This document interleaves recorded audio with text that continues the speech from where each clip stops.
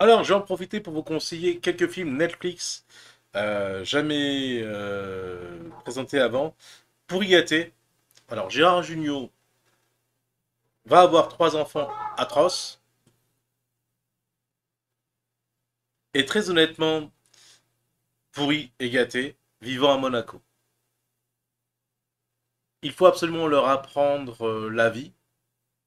Et un événement inattendu survenir qui va lui permettre de leur donner une chance de devenir des êtres intègres.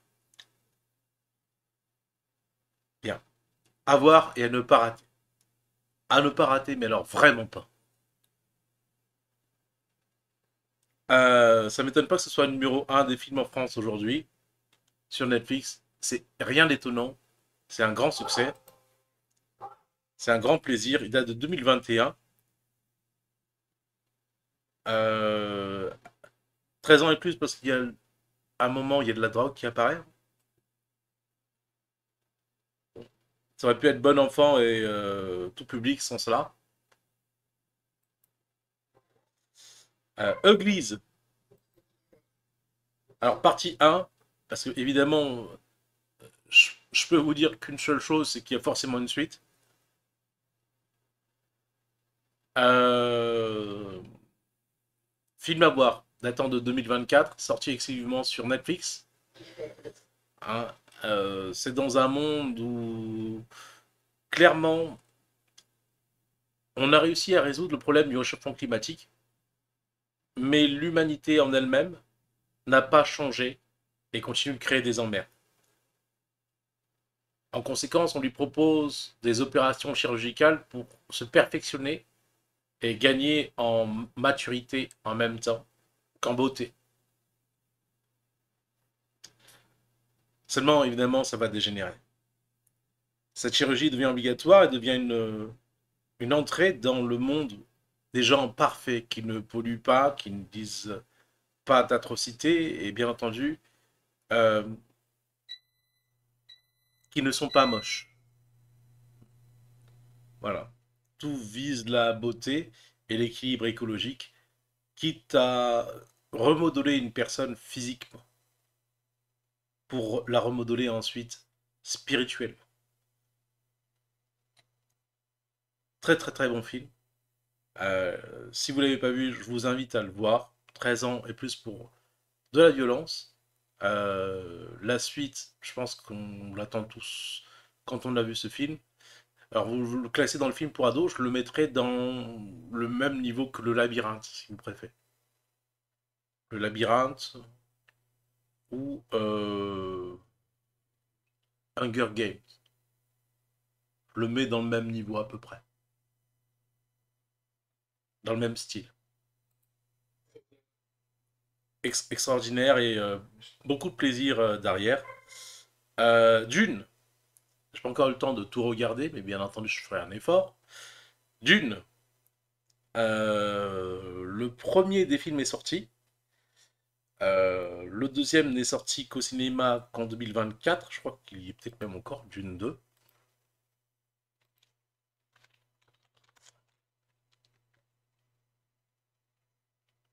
Deuxième partie n'est sortie que c'est ça, hein, en 2024 seulement. Euh...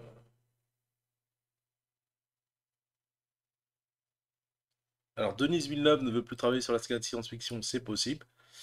Euh, nous, on a dit, on s'en fout. On continue. Honnêtement, vous pouvez avoir vu la, saga et vous demandez qui est Denise Villeneuve et vous en foutez. Ok, c'est le réalisateur. Euh, québécois. On a eu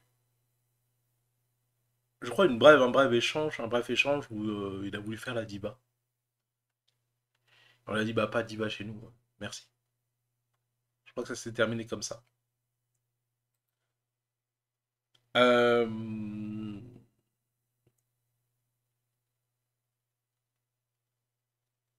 c'est tout. Donc pour Dune 3, ce sera peut-être pas lui, mais c'est pas grave, ça change euh, la licence ne lui appartient pas. Donc... peut changer de réalisateur. Avis à ceux et celles qui voudront faire la diva pour la suite. Ça vous donne une idée de ma position quant à euh, je veux faire des caprices. Dans les séries, Prison Break est arrivé sur euh, Netflix. J'ai regardé l'intégrale immédiatement. Sachez que la cinquième saison. Alors, la règle numéro 1 dans cette, série, c'est si un acteur quitte la série, je le tue, son personnage. Je tue son personnage. S'il revient, je dois trouver une manière de le ramener.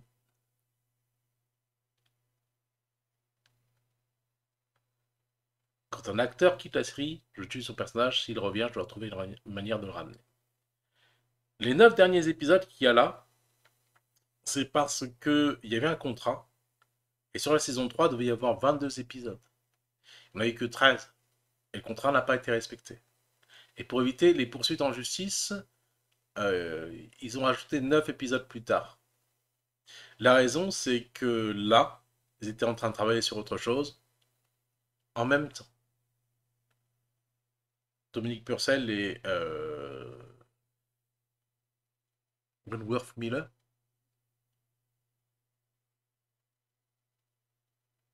étaient en train de travailler sur autre chose, sur DC Comics, DC Legends of Tomorrow. Et ils voulaient aller directement sur DC Legends of Tomorrow, ils vont faire deux saisons, et ils vont demander leur propre spin-off pour cette série-là, puis ils veulent pas s'enfermer dans une nouvelle série à succès, donc ils préfèrent même tuer leur propre personnage eux-mêmes. Parce qu'ils ont très mal vécu Prison Break. Euh, ils partent de complètement inconnus à euh, au top des charts. Et euh, pour eux, ils n'étaient même pas prêts à vivre chez eux avec cette notoriété-là. Ça a été infernal. On a eu des tueurs en série qui les, des tueuses en série qui les poursuivaient pour les épouser. À peu près 4 par mois. Ils ont très très mal vécu les choses. Il y a eu une période d'hospitalisation où ils ont vraiment souffert de, de, cette notoriété. Euh, des femmes, j'ai vécu ça dans le football américain aussi, dans le baseball. Donc je peux le dire, euh, ça arrive fréquemment aux États-Unis. Si vous avez une personne sur mille qui est dangereuse, ça fait quand même 300 000 euh, malades mentaux dangereux aux États-Unis.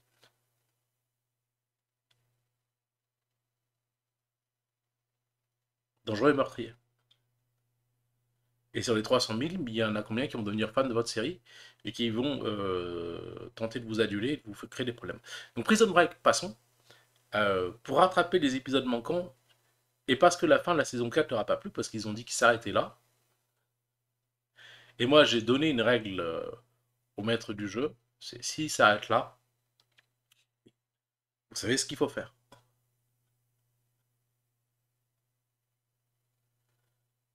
En laissant une opportunité d'ouverture.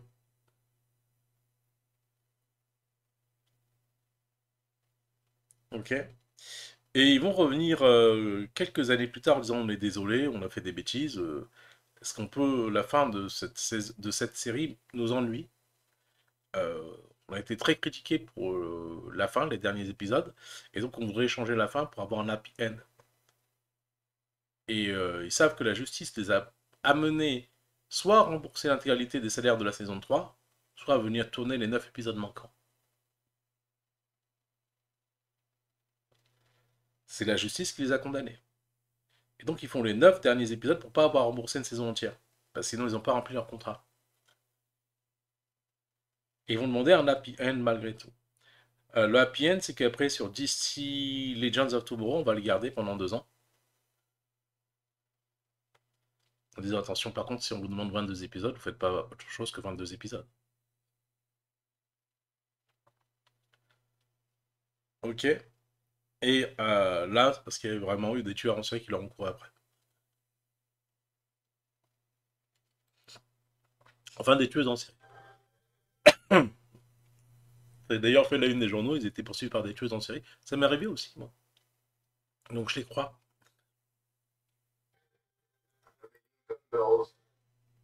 Le football américain, ça n'a pas été génial.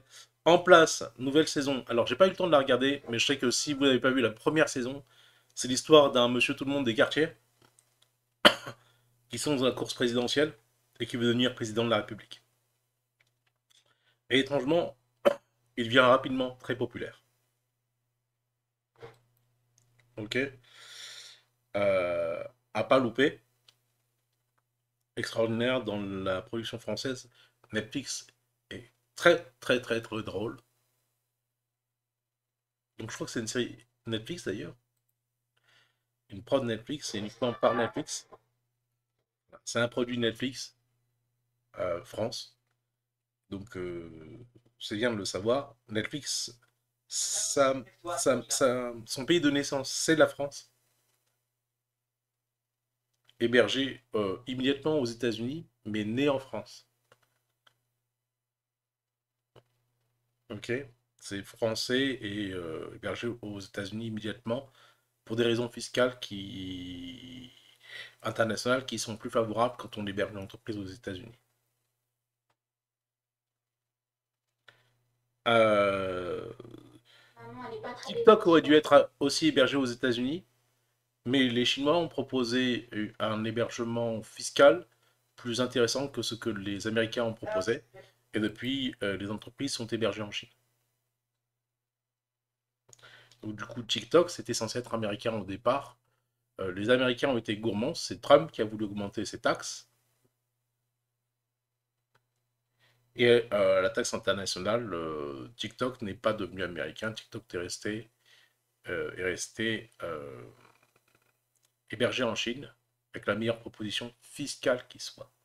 Parce qu'en en fait, la fiscalisation internationale, soit vous, avez une très bonne proposition de fiscalisation, vous êtes fiscalisé qu'une seule fois, soit vous êtes fiscalisé une fois, mais ça vous coûtera excessivement cher. Euh, l'autre entreprise, l'autre manière de fiscaliser, c'est là, il faut aller aux Pays-Bas, et c'est le roi des Pays-Bas, normalement, qui propose le meilleur contrat de fiscalisation internationale. Or, depuis peu, il est dépassé par les États-Unis et par la Chine. Il a été dépassé. Euh, si vous aimez bien euh, les films d'action, non, les films d'enquête, je vous conseille euh, parmi les tueurs en série. Alors on a eu beaucoup de tatouages sur Dahmer, la série. Jeffrey Dahmer. C'est que j'ai un gros stock de viande pourri. Le cannibale. Et puis, euh, on a un bel essai ici de Extremely Wicked, qui n'est qu'un seul film. Malheureusement, j'aurais aimé que ce soit une série, qu'on puisse en savoir plus, euh, sur un tueur en série euh, américain bien connu, Ted Bundy, incarné ici par Zac Efron. Ok, donc à pas louper, dans les prods euh, Netflix qui valent le coup. Euh, Zac Efron va jouer le tueur en série Ted Bundy, connu pour euh, sa capacité à séduire les femmes et de multiples massacres qui se sont arrêtés d'ailleurs à sa mort, ce qui prouve bien que c'était lui. Ah ben, souvent, si les meurtres continuent après lui, eh bien, c'est pas lui le tueur. Et là, on peut se demander, parce que c'est vrai que euh, la série vous laisse pas mal, le film vous laisse pas mal de doutes, mais après Ted Bundy, après l'exécution de Ted Bundy aux États-Unis, les meurtres ont cessé.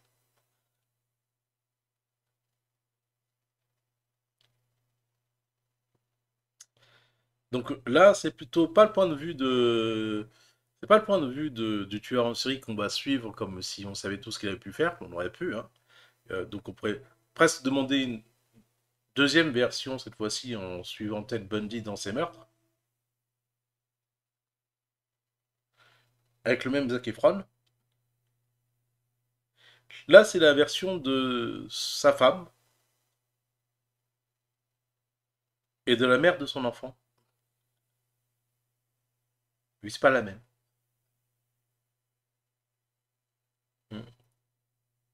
Qui continue de croire qu'il est innocent jusqu'au jour de sa mort. Tant il va les embobiner. Donc là, on aurait pu imaginer, spéculer la mort des... Alors bien entendu, ça n'a pas été fait parce que le nombre de victimes de Ted Bundy euh, qui sont d'accord pour qu'on reparle réellement des morts et des noms de leurs euh, défunts, euh, il faut qu'il y ait un accord unanime des victimes. Et on l'a pas eu. Parce qu'il y a beaucoup de personnes encore dans l'humeur de Ted Bundy qui ont du mal à, accepter qu'il a commis des horreurs et en faire un documentaire euh, recomposition spéculation euh, version Netflix comme Dahmer, ça a été le cas d'ailleurs. Dahmer, il y a énormément de, de constitution derrière. Il a fallu l'accord de toutes les victimes dans l'affaire Jeff Dahmer, pas la série Dahmer, et dans l'affaire euh, Ted Bundy, on l'a pas eu.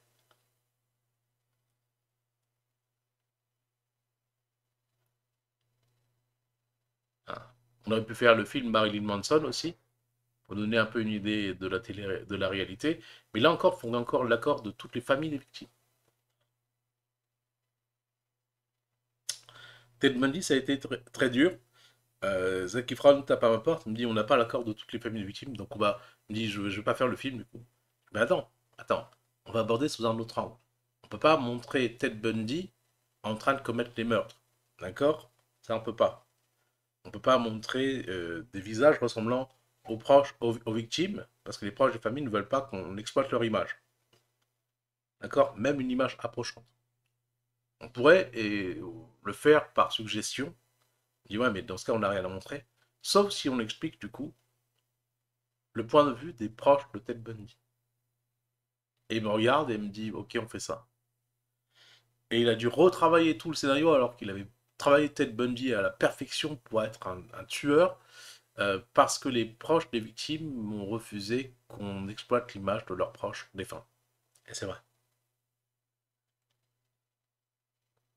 Mais il va faire un tour de force dans ce film-là, où il va présenter les choses en retravaillant en deux mois rapidement un scénario, en disant bah tant pis, on va le retravailler euh, différemment. Voilà. Euh, donc l'histoire de Ted Bundy,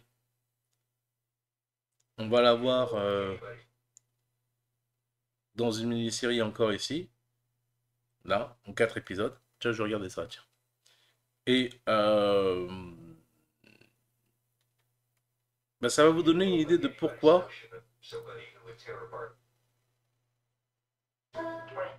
pourquoi euh, le tueur en série réellement se met à tuer. Et souvent, là, on va juste regarder. vous m'auriez présenté cet homme-là en 3 minutes.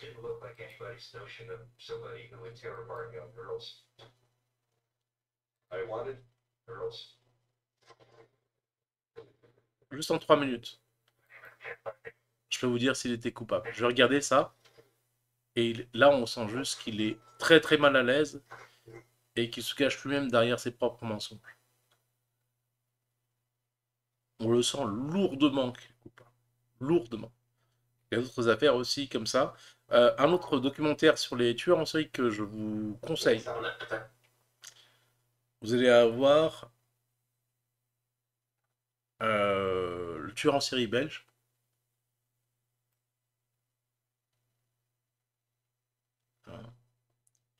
Avec sa femme, tueur d'enfants.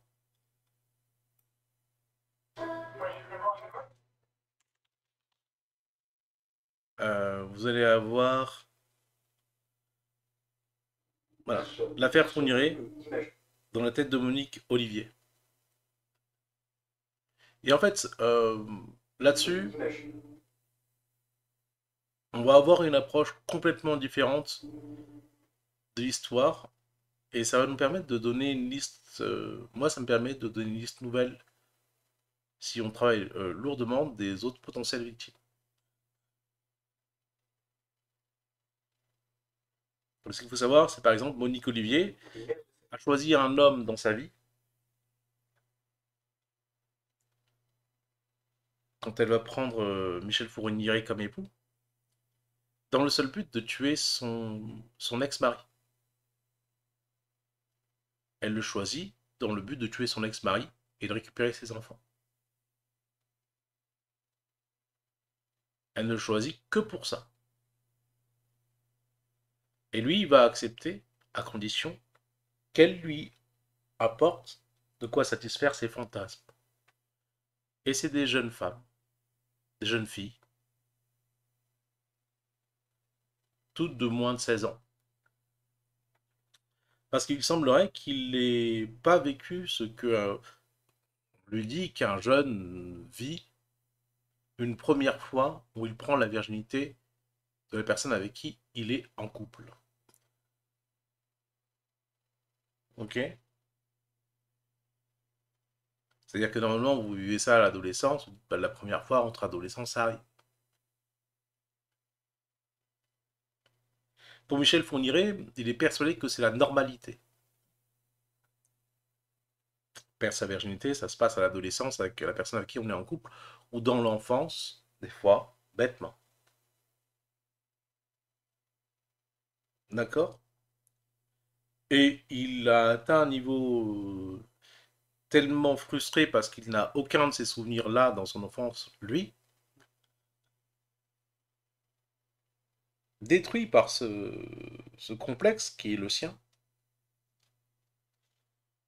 il va exiger de vivre, d'essayer de revivre cette, euh, prise de virginité. Ce qui, le motive. Et pour Monique Olivier, ce qui va être important, c'est d'avoir quelqu'un capable de tuer. Parce qu'elle a bien entendu l'intention de faire tuer son ancien mari, le père de ses enfants, et de récupérer ses enfants. Quand elle va voir Michel Fourniret sortir de prison, ils se sont mariés alors qu'elle était en prison, qu'il était en prison. Et il était déjà en prison pour agression sexuelle. Il va lui faire un enfant le jour elle lui apporte sa première victime. Et pour lui, il accomplit sa mission, c'est-à-dire qu'il lui rend des enfants qui sont ses enfants à lui. Et il va la manipuler, mais elle va être docile là-dessus. Hein. En lui disant, euh, maintenant, c'est l'image de ton mari que j'ai tué en toi. Et tes enfants, les seuls qui comptent, c'est les miens.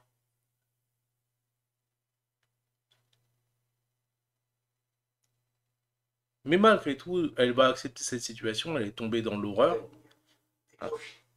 Dès le premier meurtre qu'ils commettent ensemble, et ils vont commettre pendant des années entières. Des années entières. Et avec une certaine régularité en plus, euh, qui dépend de ce, la manifestation de ce fantasme de la femme euh, de la jeune fille vierge qui chez Michel Fourniret devient un, problème. Donc vous verrez, euh, dans ce documentaire-là, si vous avez le courage de les regarder, quels sont les réels travers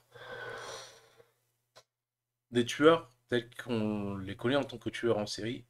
C'est-à-dire qu'en fait, ils essaient de détruire en eux une partie d'eux qu'ils n'aiment pas.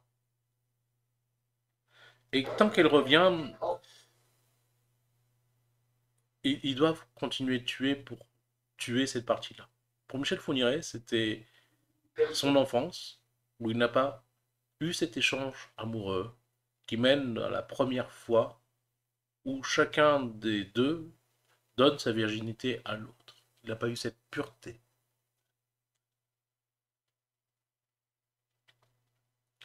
Alors il essaie de l'obtenir et demande la complicité de, Monique Olivier. Pour Ted Bundy, c'est différent. Vous allez comprendre, euh, euh, lui, ce qui lui arrive, c'est euh, l'expression d'une violence pure et uniquement contre les femmes. Contre les femmes.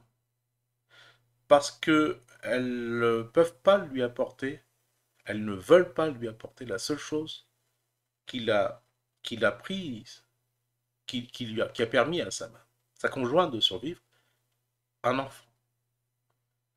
Il est complexé par la paternité.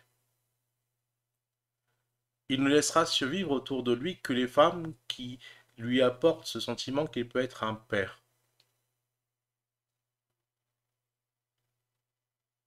Que celles qui sont prêtes à lui accorder la paternité.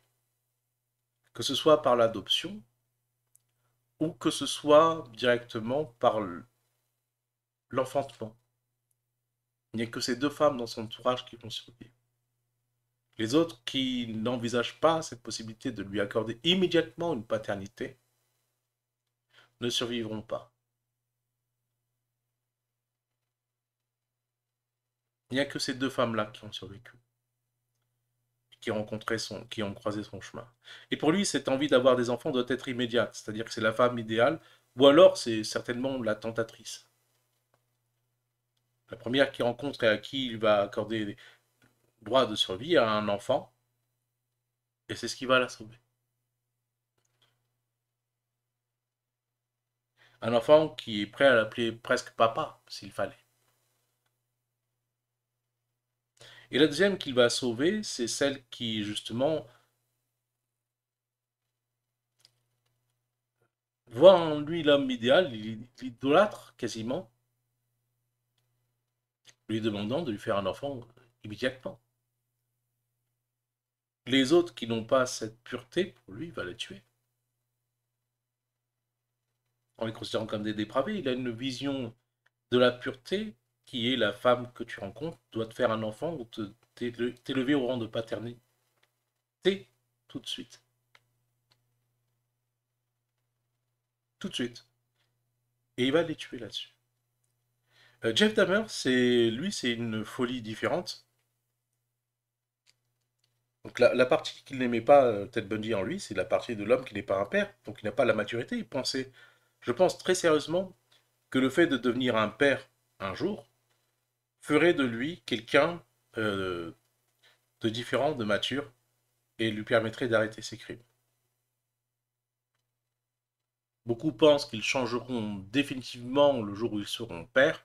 Ted Bundy, je pense, il était convaincu que tout changerait le jour où il serait réellement père, qu'un enfant l'appellerait papa, et qu'il arrêterait de tuer toutes les femmes parce qu'il arrêterait de chercher celle qui allait lui donner, enfin, un enfant, et faire de lui un père, un être mature qui arrête ses bêtises.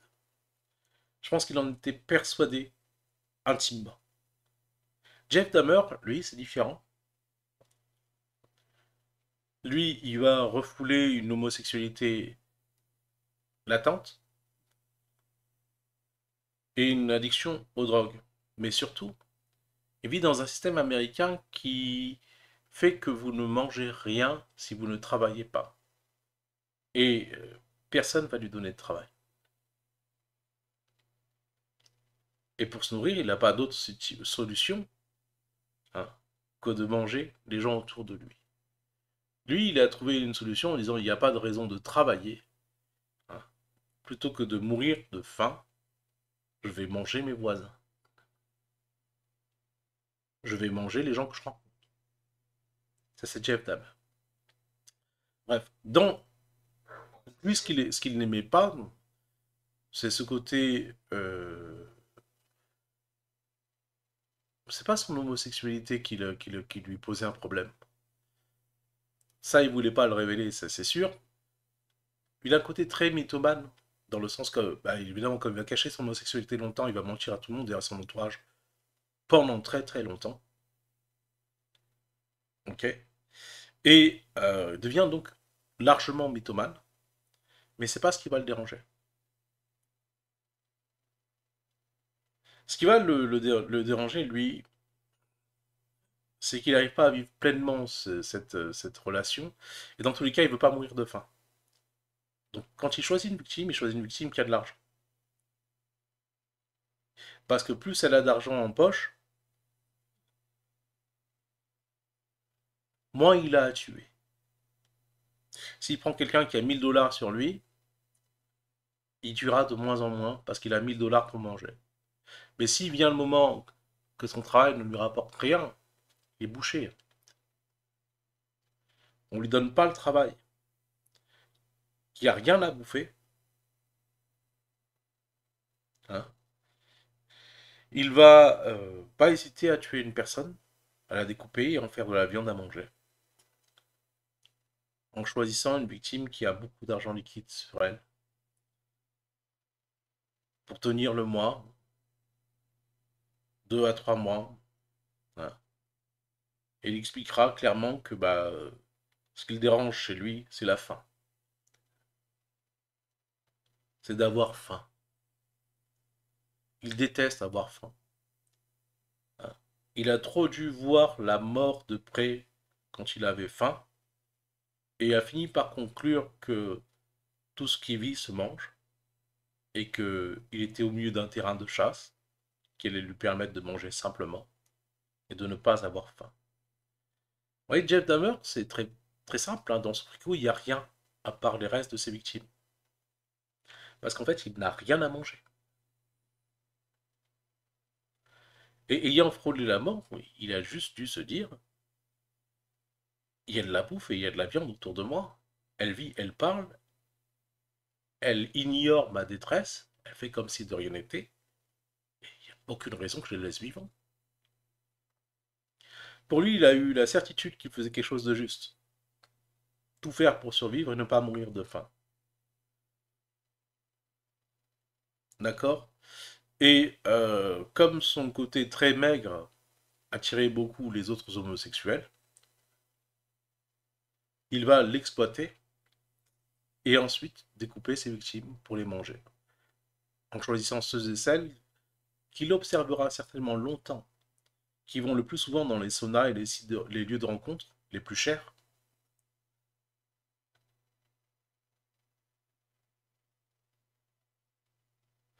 et s'assure comme ça qu'ils ont énormément d'argent sur eux.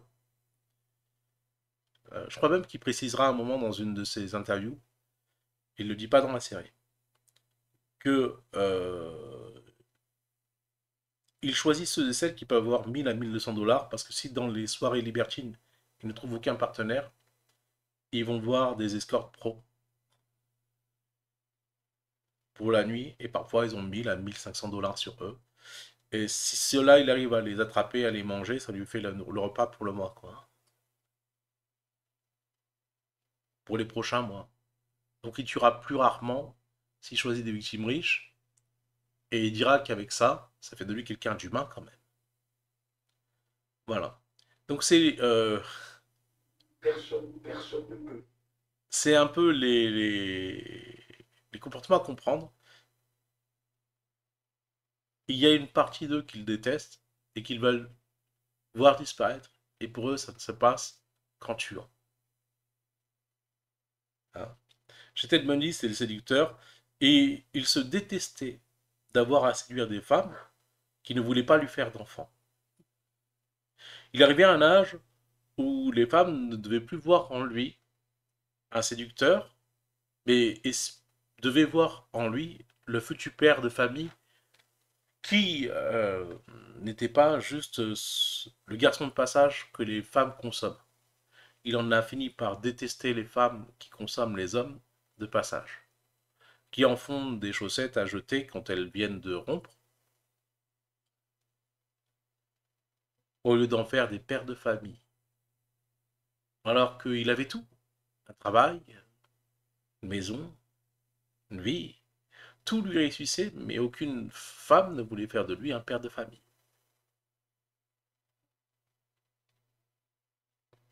Toutes n'y voyaient qu'un jouet sexuel. Il y a vu des démons, il les a tués. Et à chaque fois qu'une femme l'a abordé en n'ayant pas l'idée de faire de lui un père de famille, il les a tués. Et ce qui le passionne, c'est pas, pas réellement d'être. Euh, ce qui le motive, c'est pas réellement d'être un monstre. C'est d'être un père de famille. C'est bien que quand il va apprendre qu'il va être père, avant de mourir, il va déclarer qu'il est innocent et qu'il n'est plus la même personne, même si tout ça a pu arriver. Il le nie complètement. Il n'est pas cette personne-là, il est le père de famille désormais.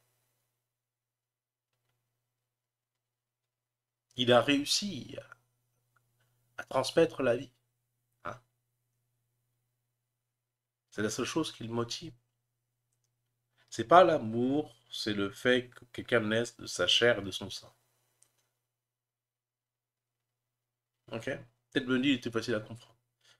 Euh, il y en a plein comme ça, regardez. C'était en janvier 1964. Euh, L'autostoppeur à la hachette, il est pas mal aussi. Je peux poser quelques questions Comment tu t'arrêtes pas Qu'est-ce qui s'est passé aujourd'hui Moi, j'ai passé la journée à Dogtown. Et ça, c'est un autostoppeur juste si tuer les gens à la machette. Vous savez pourquoi? Lui, ce qui le motivait, c'était le crime parfait. Dans sa tête, enfant, alors j'ai même pas besoin de regarder euh, le, documentaire, euh, dans sa tête, enfant, ce qui le motivait, réellement, c'était euh, le crime parfait. Tout le monde disait que le crime parfait n'existait pas. Il disait qu'il n'y avait pas de profil. On disait qu'il n'y avait pas de profil de tueur en série qui commet le crime parfait.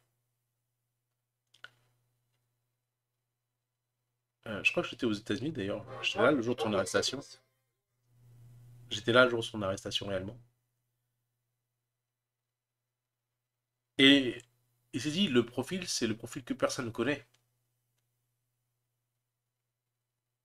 L'idéal, le profil idéal, c'est le profil que personne ne connaît. Il va se mettre en autostoppeur, qui n'accepte de monter que dans les voitures de ceux et celles qui sont seuls au volant.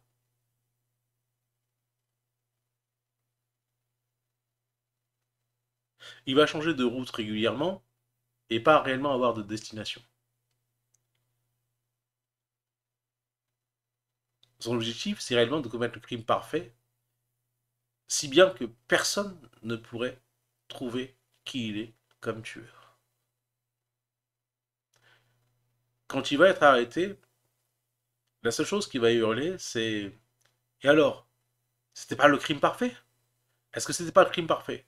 C'était pas un crime tellement parfait que vous ne pouviez pas m'arrêter, alors qu'on lui met les menottes. Dans sa tête, c'était cette logique-là.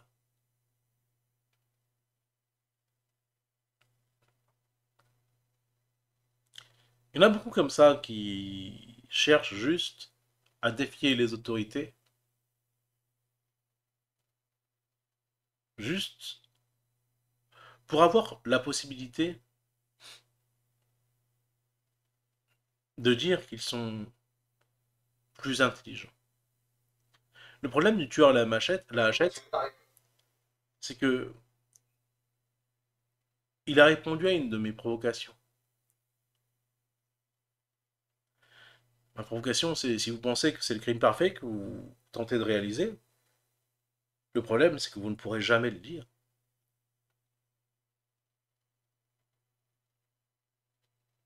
Et si vous le commettez parce que vous voulez vous vanter d'avoir commis le crime parfait, vous ne pourrez jamais vous en vanter. Il va écrire aux autorités publiques en disant qu'il allait commettre un nouveau meurtre et qu'à ce moment-là, il pourrait être arrêté.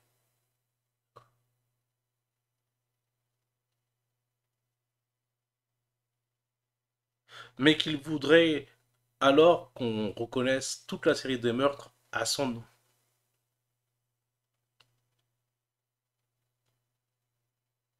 juste pour pouvoir répondre à la publication que j'ai envoyée en disant vous ne commettrez pas le crime parfait dont vous pourrez vous vanter si personne ne vous arrête.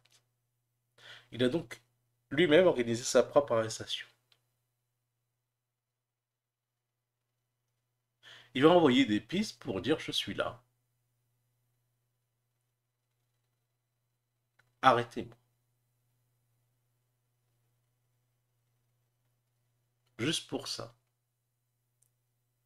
Lui, ce qu'il déteste, c'est l'idée que la police serait plus intelligente que tout autre criminel.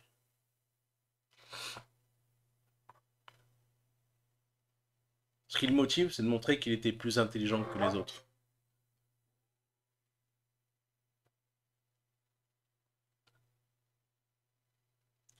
Et que s'il tuait, personne ne serait capable de l'arrêter. Sauf s'il le désirait.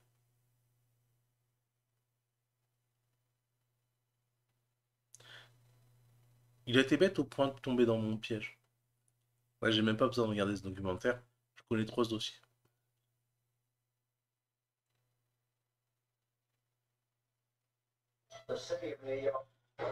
Euh, je veux pas la liste de tous les tueurs en série, on en a eu pas mal. On a eu. Euh... Il y en a qu'on a... on en a jamais parlé d'ailleurs. Il y a eu Zodiac. Zodiac est revenu en France. Alors Zodiac, c'est les services de renseignement généraux français. Même à San Francisco. Et les militaires américains. Ils sont plusieurs. C'est une manière euh, différente de nettoyer. Vous faites croire à la présence d'un tueur en série. Après l'affaire Dahmer, après l'affaire Ted Bundy, les tueurs en série, tout le monde commence à connaître. Vous faites croire à la présence d'un tueur en série et puis vous tuez les uns les autres. Et vous dites c'est le tueur en série qui en fait ça. Il n'y en a jamais eu.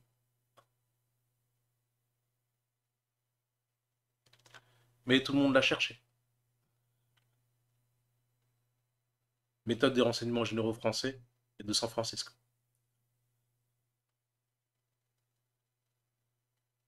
Pour cacher les meurtres, par exemple, des politiques. Maintenant, M. Macron essaie de faire croire l'existence de sectes meurtrières. Quand tu lui tues.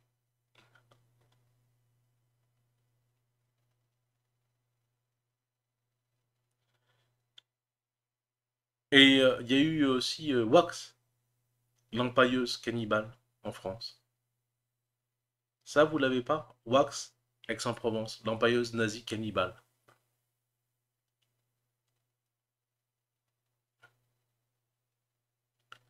Dans un immeuble, une famille, apparemment bonne famille catholique, habite les trois étages, les trois appartements, les quatre appartements.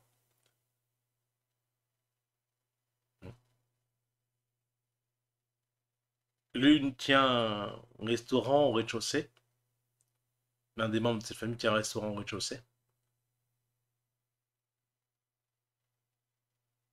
Au, premier étage, vous avez les empailleurs d'animaux de la même famille.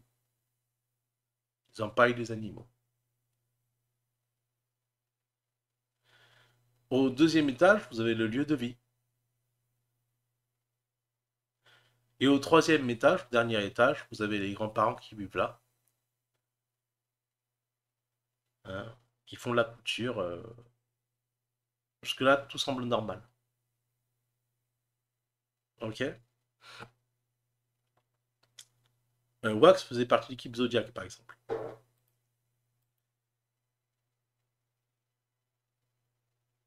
Alors que les grands-parents touchent leur retraite, d'un dur labeur euh, militaire. Ils touchent leur rente régulièrement. Les parents aussi.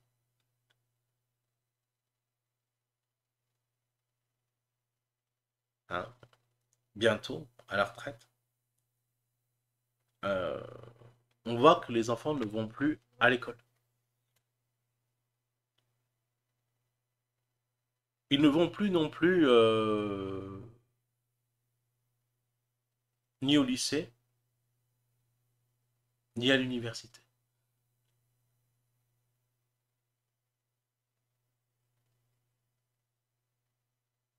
On téléphone, il répond en disant nos parents sont pas là, euh, sont partis en voyage. On garde la maison.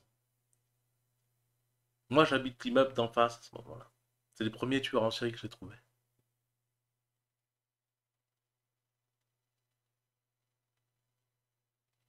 Et dans l'immeuble d'en face, je vois la, la mamie et le grand-père qui bougent encore au dernier étage,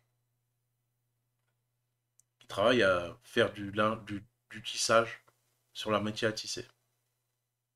Seulement, ils sont sur la métier à tisser nuit et jour. Ils dorment pas, ils s'arrêtent pas, ils mangent pas.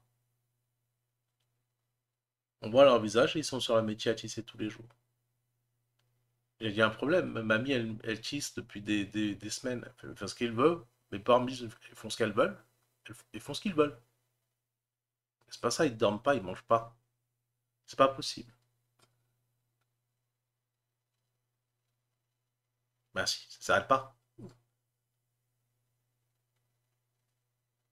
Et les enfants, ils vont plus à l'école. Et alors? Et alors? Rien. Puis, euh, avec la voisine, vous savez, on a ce, cette communication avec le, le gobelet en place, le gobelet en papier, là. Dans l'immeuble d'en face, on en- j'envoie le gobelet en papier pour communiquer. J'ai dit, est-ce que chez toi, tout va bien? Et la petite, elle dit, elle a mon âge, elle a 5 ans. Je peux pas, je peux pas, euh, 5-6 ans. Je peux pas te parler. Je peux pas te dire ce qui se passe. C'est atroce. Et on entend des hurlements qui viennent de là-bas, puis ça s'arrête, puis il dit non, c'est quelqu'un qui a fait des travaux. Au final, on va trouver dans le repas qui est servi au rez-de-chaussée, dans le restaurant, un doigt. Un doigt humain. Et là, ça va inquiéter les uns et les autres. Et d'où vient ce doigt? Ou le reste du corps? Qui s'est qui s'est coupé un doigt? Et t'as la voisine du dessus qui va se couper un doigt dire que c'est elle qui s'est coupé un doigt. Au-dessus du restaurant disant Ah, c'est moi qui cuisinais, je me suis coupé un doigt, je me suis pas rendu compte.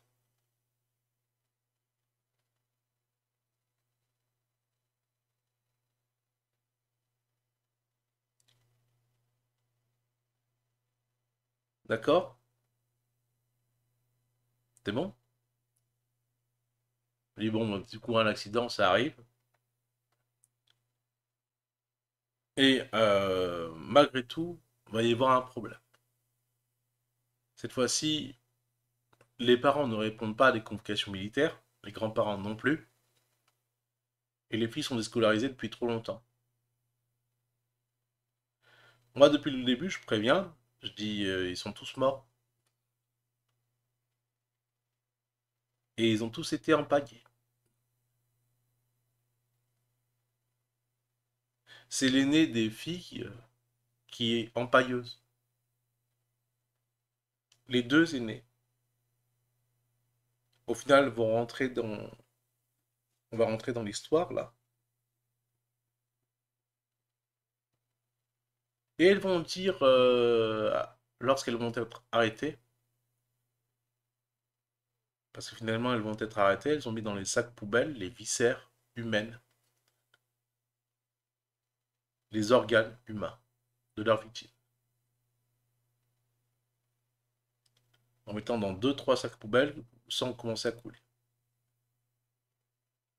Elles vont dire, mais c'est parce que quand nos grands-parents sont morts, on voulait les garder tout le temps avec nous.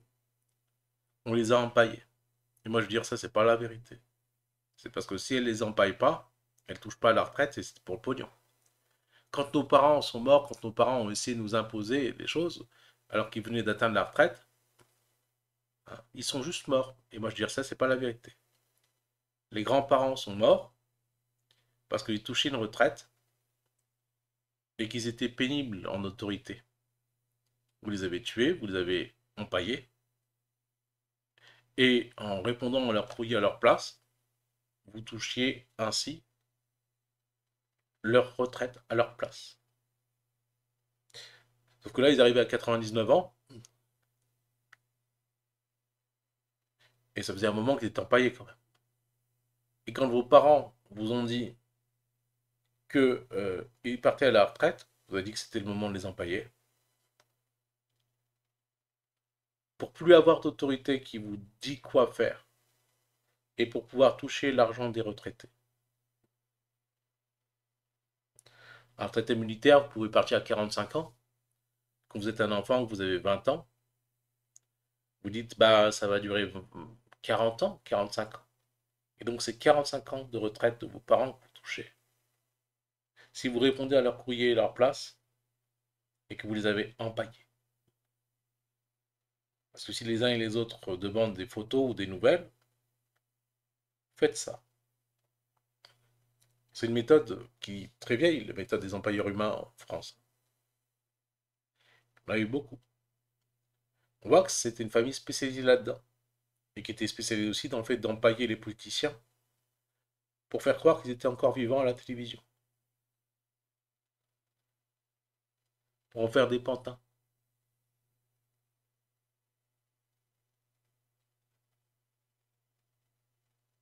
Et au final, cette famille a pété un plomb et s'est mis à empailler toutes les personnes qui tapaient à leur porte.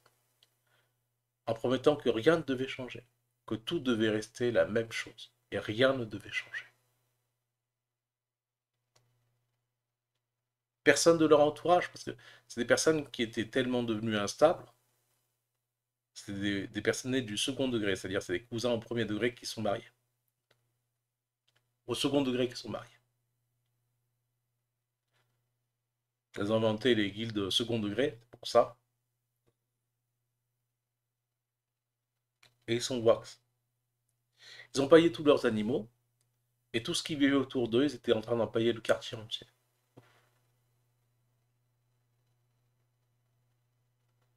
Ils mettent dans la cire, ils faisaient de l'esthétique, esthéticienne, il y en avait qui était esthéticienne, et ils mettaient dans la cire des pillages, des drogues, pour endormir leurs victimes et elles proposaient des soins du visage et d'épilation gratuitement à leur voisinage, pour être sûr que le voisinage soit euh.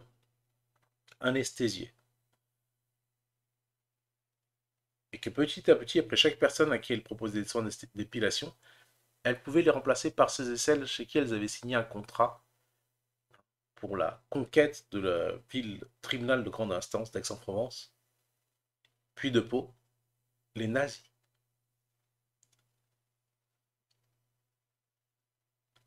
Elle, elle détestait l'idée qu'il y ait une autorité au-dessus d'eux, parents, grands-parents ou qui que ce soit. Si vous aviez une rente de retraite, vous pouviez passer 40 ans sans jamais retrouver une administration. Depuis, la loi a changé. Quand vous êtes retraité, vous devez vous présenter régulièrement.